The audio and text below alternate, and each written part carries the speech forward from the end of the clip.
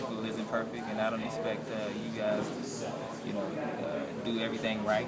You don't expect me to do everything right. I'm not the most perfect human being, and that's the one thing I think America needs to understand. We're all human, and we all make mistakes. No one mistake is greater than the next mistake. No one person is greater than the next person because we're all at fault. We all have some type of fault, fault in our nature. We're going to be uh, human at times, and we're going to make mistakes. So um, I think he deserves chance. I think that uh, there will be another team that's going to give him that opportunity. Now it's going to be up to him whether he's going to make the best of that opportunity.